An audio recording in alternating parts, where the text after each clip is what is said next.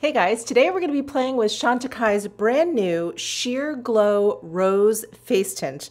I'm very excited for this. I have it in the box right here and here is a card kind of just talking about the product a little bit. I wanted to create a product that always made you look fresh and healthy, actually packed with ingredients that moisturized, plumped, and soothed. A layer of this and you look rosy, fresh, radiant, just divine dewy skin and that is a quote from Sylvie Chantecaille, who is the founder of Chantecaille. And let's see, how to use. Designed to be applied after skincare, which is good, I have most of my skincare on, to leave the skin blurred and filtered with visible imperfections softened and fine lines smooth. Yes. Wear all over for a subtle glow or brush onto the high points of the cheeks and across the nose. Mix with your moisturizer or foundation for a touch of rosy radiance. Interesting. Okay, I think today what I'm gonna do, since I haven't used this product before, I'm gonna go ahead and use it all by itself, all over my face, so we can get a good look at it, get a good sense of it. I am working uh, with Chantecaille on today's video, so a big thank you to them. They did send this product over to me. So I'm just gonna go ahead and open up the box here. I'm really excited. Uh, let's see. Ooh, of course, beautiful packaging. We have this very like soft satin finish jar. Oh my God, that's beautiful. Um, and let's see, the size of this jar is 1.06 fluid ounces, 30 grams, 12 month shelf life from when it's open, and it's made in the USA. All right, I'm just gonna go ahead and open this up. It has a very slight, very fresh kind of rose fragrance. And here is what the product looks like inside the jar. It looks like it has a pudding, yogurt like texture to it. And I'm trying to think do I want to put something down first? Um, I was thinking about using the Chantecaille primer. That's a primer I use very often, but I do have some SPF down. That is the last step to my skincare. Um, I do feel a little parched. My skin has just been feeling really, really parched since you know since the summertime started i think it's all the air conditioning it's just i feel like it's just constantly blowing on me so i think what i'm going to do is just spray a little bit of the orange flower water from chantecaille just to kind of prep my skin even more just to give it a little something just because i'm feeling so parched and dehydrated so I'm just gonna let that settle in a little bit here. And we're just gonna do a light makeup look today. One, it's summertime. It's just a light makeup look kind of season, I feel like. And also what I'm thinking is, um, while there's still pretty good light out, I want to do like a little bit of a, a check-in, maybe in the afternoon. Right now it's it's like early morning. It is, I don't know where my phone is, but it's about 7 a.m. in the morning.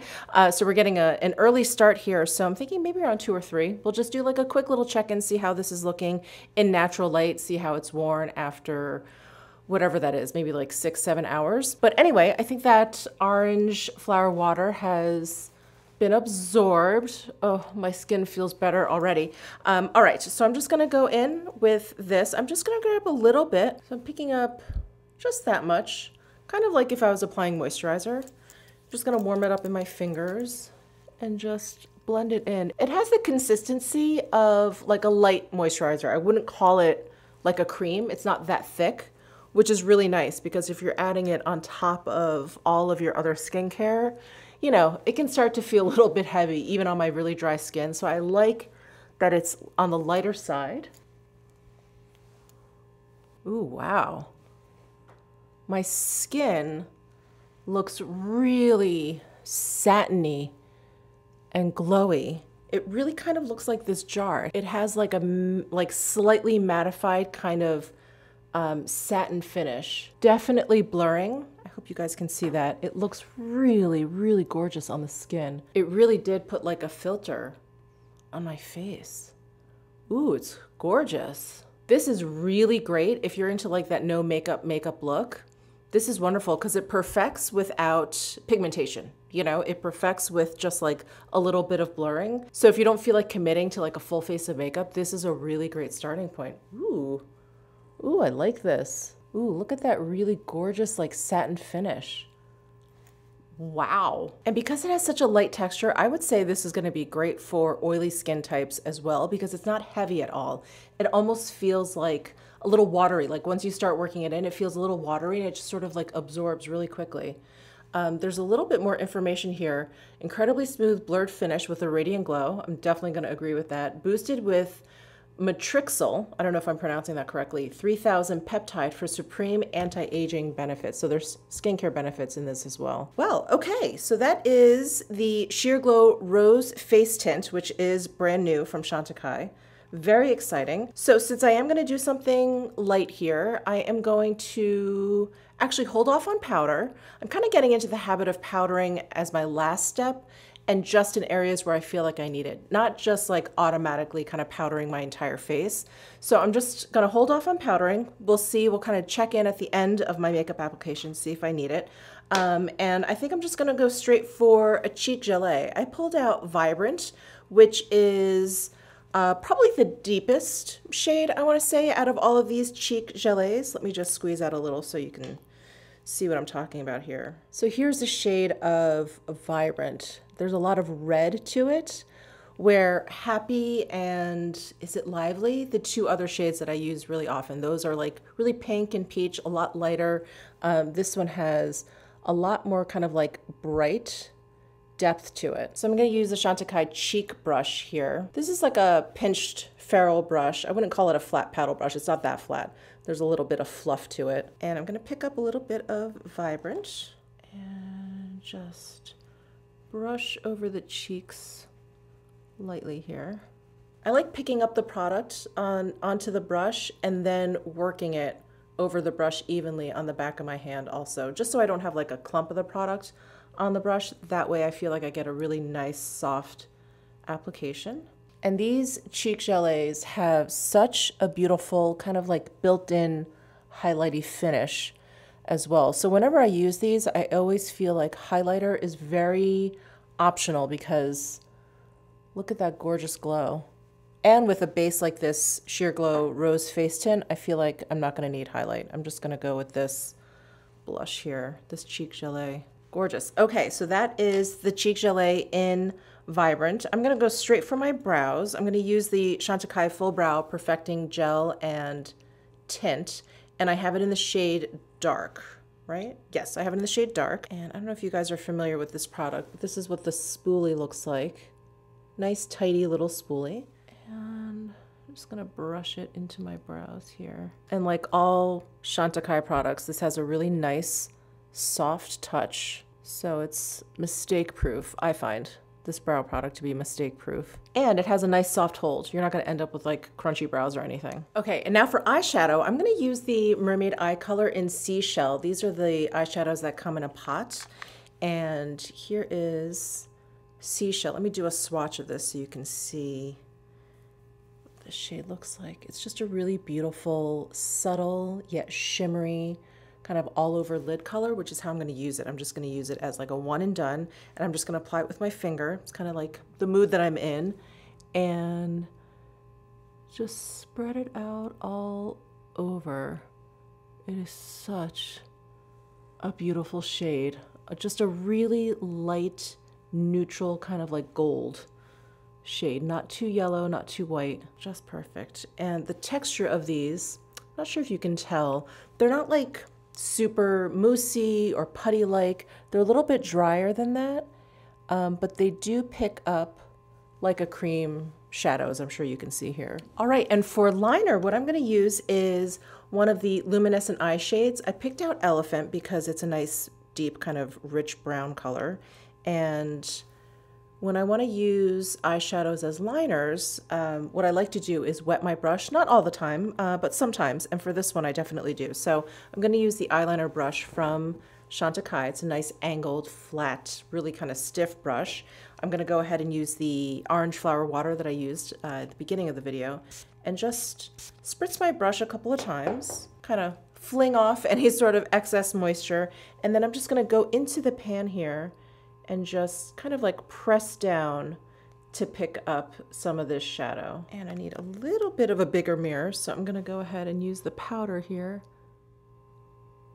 And I'm just gonna drag this liner brush really short strokes just across my lash line here. And I get this really beautiful neat line of this shadow, which has this gorgeous like metallic sheen to it. I hope you guys can see that. But it's so pretty and it's nice and subtle. It's not as like sharp as like an eye pencil or anything or like a matte eyeshadow. This will give you a softer um, liner look. And because I want this eye look to remain relatively soft, I'm just going to use whatever's left over on this brush and just lightly graze it along my lower lash line. Just giving a really subtle um, kind of accent there. All right, that is it for eyeshadow eyeliner. I'm gonna go ahead and curl my eyelashes and I'm gonna apply one of my all-time favorite mascaras, the Faux Cils Longest Lash Mascara.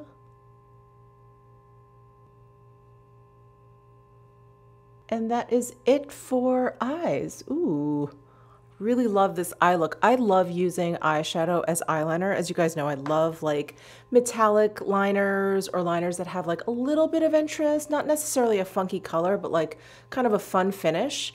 And I feel like it's easy to get that with eyeshadows because eyeshadows come in all these different finishes, but eyeliners don't necessarily, you know, they don't necessarily come in like all these fun different finishes. So using eyeshadow as eyeliner, a very fun option. And then last but not least, I'm going to throw on the lip veil in Tamboti. This is one of my all-time favorite lip products, but it's this really gorgeous nude.